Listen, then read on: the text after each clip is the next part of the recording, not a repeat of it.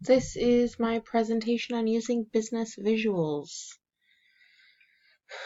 So first, uh, visual organization, simplicity, and interactivity. Um, as humans, most of us are visual learners and thinkers. Visuals allow us to send messages quickly and meaningfully.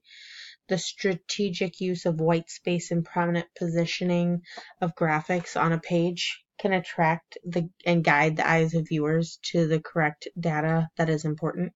In most businesses, textual communication elements take a secondary explanatory position.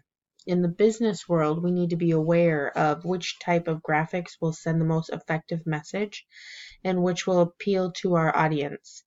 One thing to always keep in mind is that we must lead our audience visually to receive information as quickly as possible.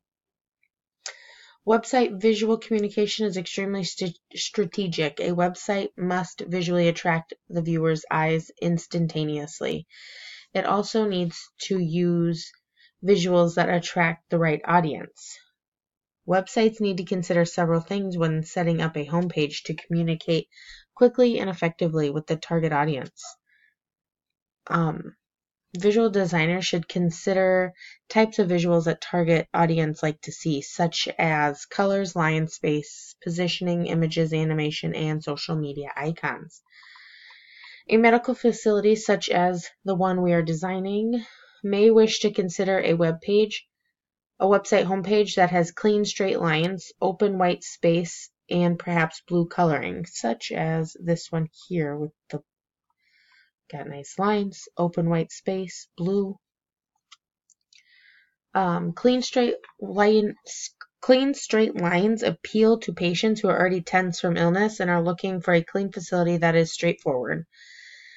Um, due to stress and impact of illness, they will not want to see a complicated, complex design, which may cause additional visual tension. Instead, they'll respond well to those open spaces in a visual design. It may also be beneficial to use colors that can be interpreted as calming, such as blue. In America, that represents a strong, safe, calming response with viewers, while in other countries, it may be interpreted in this positive way also. Um, charts and graphs are also um, helpful. A graphic representation of information, statistical data, a structure, environment, or process. A chart is a specific type of diagrammatic representation of facts.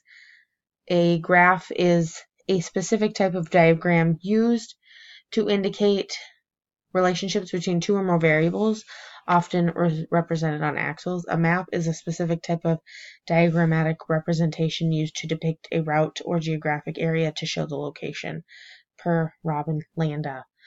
Um, so, things that this can be used on for this website um, a graph, or I'm sorry, a map of the location of the medical facility, um, a graph of different kinds of like statistical data of the ages of people that use their facility, the um, male, female, race, etc. um, images. There are many different representational, abstract, or non objective images in forms of photographs, illustrations, drawings, paintings, prints, pictographs, signs, symbols, maps, diagrams, optical illusions, patterns, graphs, and elements, and marks. Classifying images help you understand how to best depict them to express your concept and meet your communication goal per Robin Landa. So, using the photos like these, um, this shows you know, the careers they have available, the different types of jobs you can have there, patients, um, while in an MRI machine, they seem to be comfortable with a nurse and physicians working hard. Same up here, physicians working hard. Um, pictorial screen staples include photography, illustration, icons, symbols, textures, patterns, graphs, charts, maps, animation, and motion graphics. Imagery is either created by the designer or commissioned from an illustrator, photographer, or other designer. It may be selected by the designer the, from the client's archives or purchased from a stockhouse. Um, things to think about when creating or selecting images. Optimizing images, loading time, basic guidelines, um, margins and padding, consistency, such as cropping, silhouette, styles, media, color, and tone, appropriateness of imagery for the design of design concept and brand or entity of publication. So you don't want a random photo of kids playing by the beach on a medical website. Um, size of the image, style and media, consistent visual vocabulary for icons, um, the audience, and how different kinds of imagery communicate for Robin Landa. Thank you.